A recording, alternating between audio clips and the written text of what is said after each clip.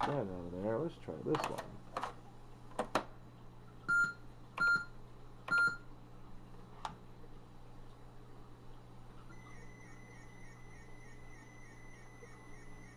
I used to play this game a lot. Remember how to. Been a long time. With. I think it takes the joystick. We'll try this out, see if the joystick works. Am I ready?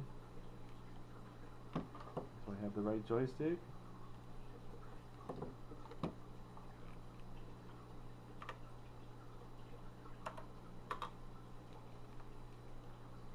Is the joystick plugged in all the way? Oh. Oh, the joystick will not go up. I cannot go up. Oh, that sucks. And that's it. You make a chain, you go all the way around, and fill the. This is the exact opposite of Pac-Man. you're you're laying stuff down and versus eating them up. And I can't go up. I can go left and right.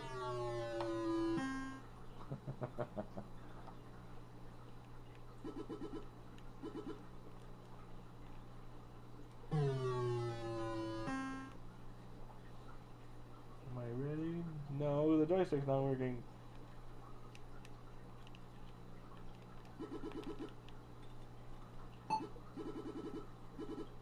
Yeah, I got one. And then that's it. I can't go up anymore. I'm stuck.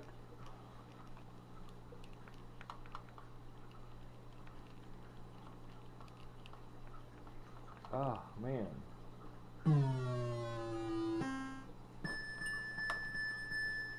I got a high score, yay! I'll have to figure out why the joystick won't go up. 1983 there. Powerful memory, 16K of RAM, expandable to 52K. I know I had a 32K, I've- or I've got a 32K memory upgrade, but that only brings it up to 48. Connects directly to your TV. 1500 diskettes and cassettes. That's quite a lot, actually. It's got 16 color, 5 octaves of music, and 3 harmony. So it had a pretty good, good sound.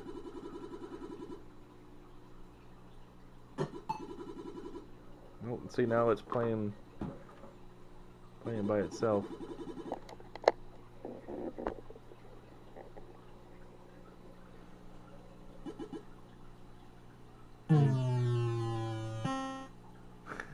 All of sound effects.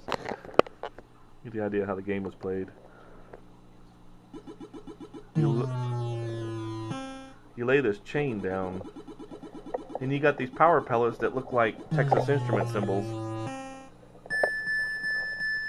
There in the corner.